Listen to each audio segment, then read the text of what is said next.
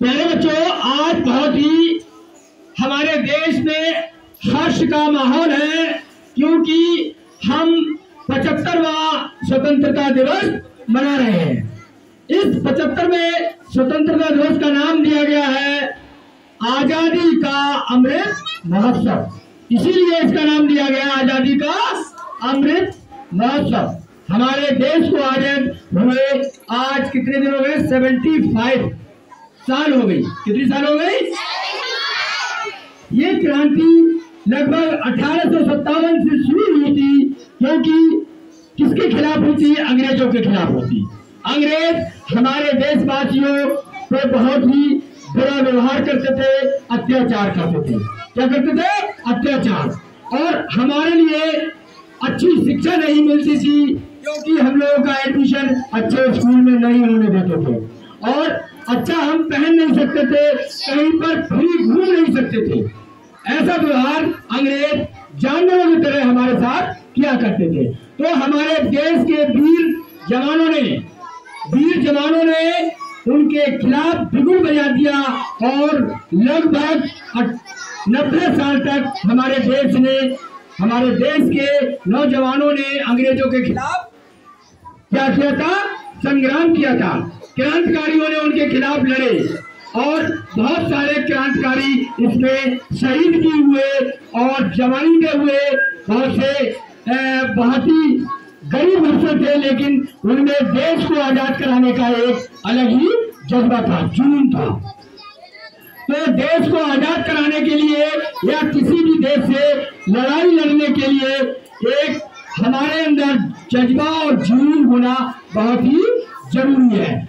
इस जज्बा और जुनून को जब हमारे देश में कोई भी विदेशी देश आक्रमण करता है तो हमारे देश की सेनाएँ भी एक बात किराई करती है मतलब कि देश की सेनाओं को जागृत करती है। और अंग्रेज़ उनके विदेशी जो वही यानी सेना है, उसके विरुद्ध लड़ने के लिए।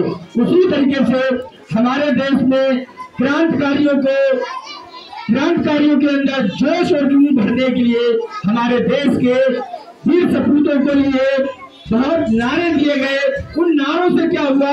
हमारे देश के वीर जवानों में एक जोश और जुनून भर गया।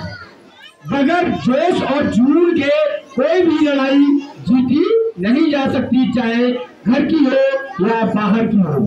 इसी क्रम में हमारे कुछ बड़े जो हमारे शहीद हुए हैं हमारे देश के, उन लोगों ने नारे दिए हैं। जैसे हमारे सुभाष चंद्र बोस थे।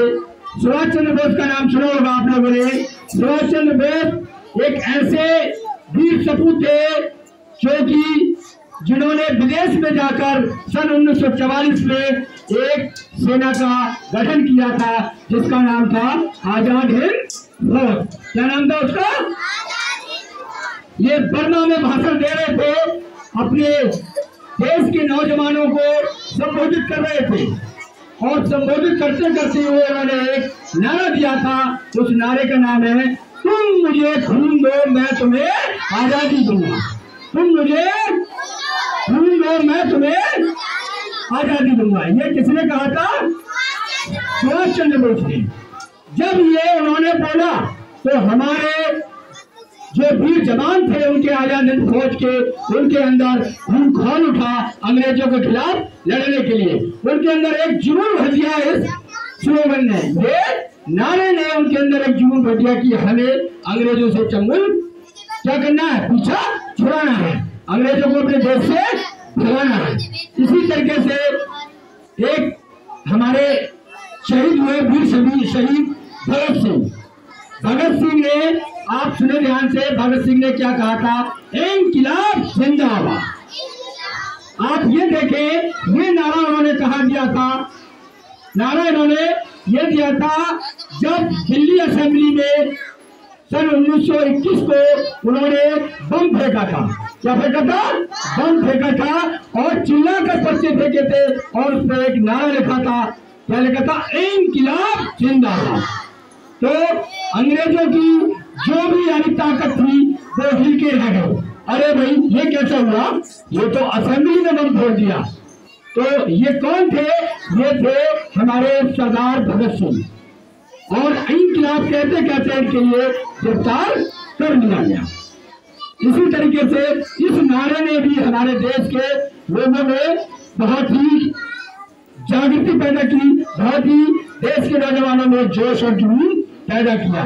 अंग्रेज़ों के खिलाफ डटकर मुकाबला किया।